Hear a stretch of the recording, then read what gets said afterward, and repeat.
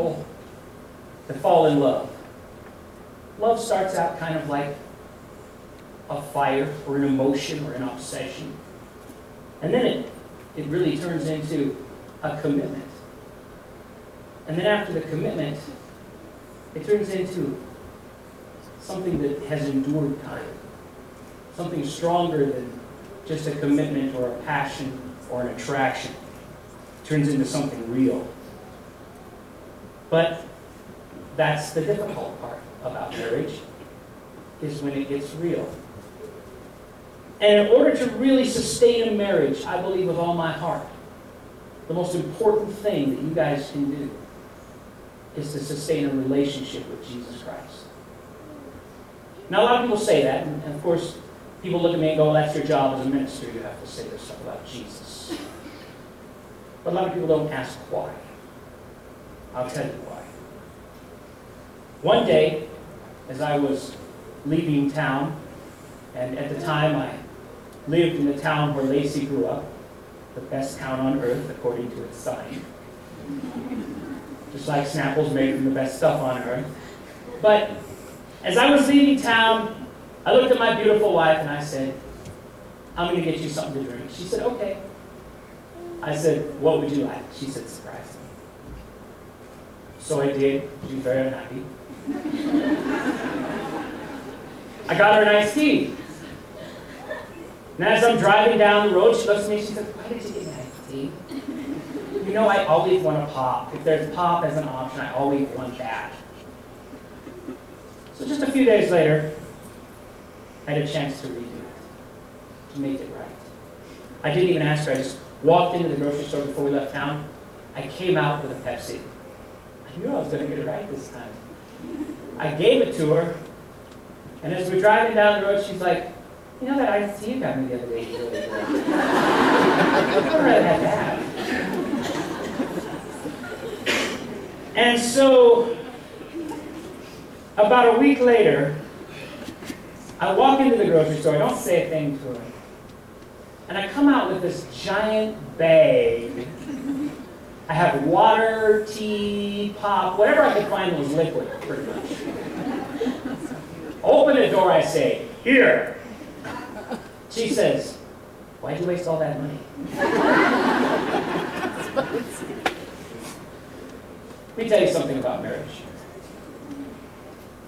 You're never going to be able to please each other. But every day you'll be able to love each other. You're never going to find the right answers for everything. You're never going to make the right decisions. You're going to make mistakes. You're going to fall down. But every day, love will get you through it. And the thing that's gotten me through my life isn't just the love of my beautiful wife who I adore. But I have fallen down and made so many mistakes. And in spite of my mistakes as a human being, as a man, I have a tendency sometimes to be arrogant and think that everything I do is wonderful. And 2,000 years ago, Jesus Christ gave his life. He sacrificed his perfection to redeem my imperfection. And every day as I walk through this life and make mistakes and mess up, I know that the God I serve offers me his forgiveness. And if he gave his life for me to offer me his forgiveness, how can I not live out that forgiveness and offer it to other people in my life? If you walk in that kind of forgiveness throughout your lives, and you honor one another with that kind of love, your marriage will last forever. Don't make your marriage like a Hollywood marriage. They're for richer, for poorer, for better, for worse, but not for long. Colossians 3 12 through 19 says, Since God chose you, God chose us to be a holy people that He loves, we must clothe ourselves with tender-hearted mercy, kindness, humility, gentleness, and patience. Make allowances for each other's faults. Forgive anyone who offends you. Remember, the Lord forgave you, so you must forgive others. Above all, clothe yourselves with love, which binds us all together in perfect harmony. And let the peace that comes from Christ rule in your hearts. For as members of one body, we are called to live in peace. And always be thankful. Let the message about Christ and all its richness fill your lives. Teach and counsel each other with all the wisdom that He gives.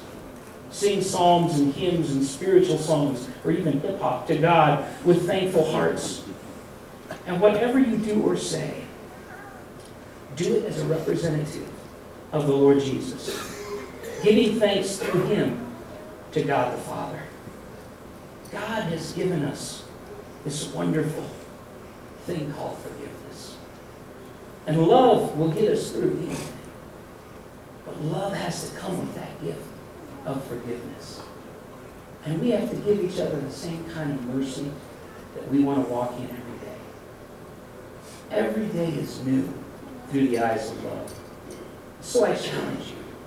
Let the love of God enter your lives together and share that love with one another. And every day, your love will grow. Every day, you'll love each other beyond all your little quirks and idiosyncrasies, beyond anything you could think of. Love will save the day.